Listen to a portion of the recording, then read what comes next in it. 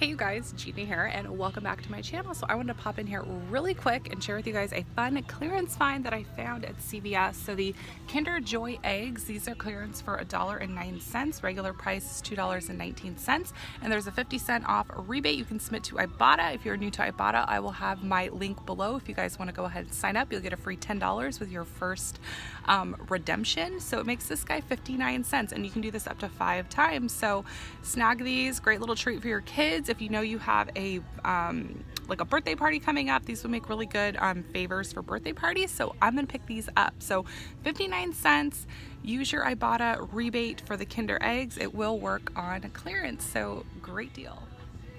So we also got a CRT for a dollar off any two for Hershey's and the Hershey's are clearance. It's going to vary um, per store, but definitely check your CRTs and you can use your um, CRTs on clearance items. So this is a great deal. And if you have not seen my CVS in-store video, I will go ahead and have it linked below so you guys can go ahead and follow around.